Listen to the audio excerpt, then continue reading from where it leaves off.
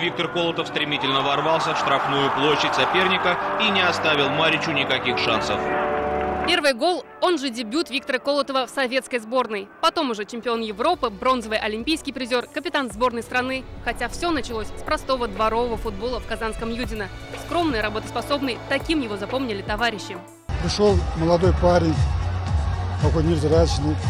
Еще Николай Иванович Сентябрев говорит, ой, что это за мальчишка, мальчишка такой это. И он сразу влился в коллектив, Итак, у нас идет подготовка Стал играть к началу церемонии сразу в составе. открытия нашего турнира. Стал забивать. болельщики, И забивал уверенно. Колотов стал единственным игроком казанского «Рубина», сыгравшим за великую советскую сборную. За 55 матчей 22 гола.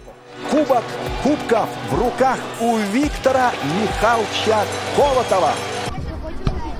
Таких ударов головой Виктор Колотов в свои 18 лет мог выполнить более тысячи. Он тренировался и день, и ночь, не жалел себя. С мячом он, можно сказать, спал. В честь 70-летия со дня рождения футболиста на центральном стадионе более тысячи болельщиков. Здесь играют команды из России и Белоруссии.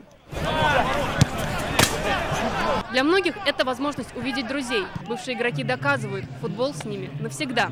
Турнир это очень замечательно э, вот этим своим проведением для детей.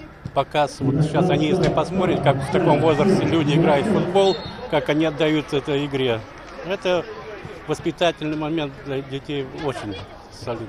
Единственный памятник Виктору Колотову в Зеленодольске. Отлитый из бронзы его взор всегда направлен на поле.